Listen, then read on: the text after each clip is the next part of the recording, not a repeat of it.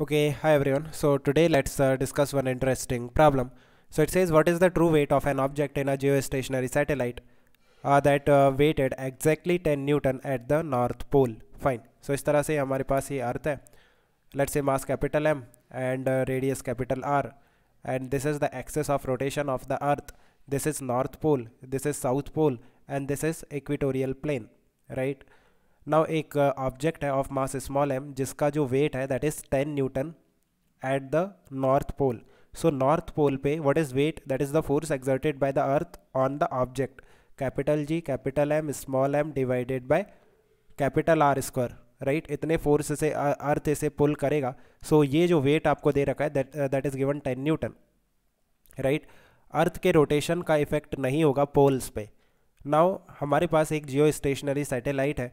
What is geostationary satellite geostationary satellite जो होता है, वो इक्विटोरियल प्लेन पे मूव करता है at a height H from the surface of earth और एच का वैल्यू कितना होता है? Three six triple zero kilometre right इस तरह से ये इस ऑर्बिट में रोटेट करेगा जियो स्टेशनरी सैटेलाइट एंड इसका जो टाइम पीरियड होगा रोटेशन का सेम होगा as the time period of rotation of the earth that is twenty four hours so क्या होता है कि अगर हम अर्थ की सरफेस पे खड़े होकर देखेंगे देन ये जो सैटेलाइट है ये स्टेशनरी दिखाई देगा बिकॉज़ uh, ये यू नो अर्थ के साथ ही रोटेट करेगा।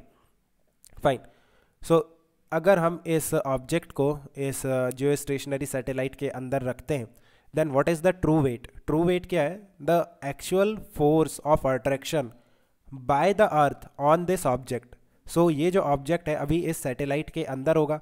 Means its distance from the centre of the earth will be capital R plus H so what will be the gravitational force of attraction by the earth on this object, that will be capital G, capital M, small m divided by r plus h square. ये value हमें find out करनी है right so आप देखो we can find out this capital G capital M and small M that will be capital G capital M and small M will be ten times of R square so just put it here so देखो, ये क्या आ जाएगा? Ten R square divided by R plus H square and uh, 10 that is the radius of earth. R is the radius of earth will be 6400 kilometer and r plus h square. 6400 plus 36 triple zero right इस तरह से हमने kilometres में values put कर दी। Because it's a ratio है ना? Just unit same होना सो इस तरह से this will be the true weight अगर हम अपेरेंट वेट की बात करें then that will be zero because ये जो फोर्स है ये इसे सेंट्रिपिटल एक्सेलरेशन देने में यूज़ हो जाएगा। Means this force applied by the earth that is the true weight use हो जाएगा to provide the centripetal acceleration that's why जो अपेरेंट वेट आएगा that will be zero so I think you have understood let me know if you still have any confusion we can discuss further okay इसकी working out best of luck bye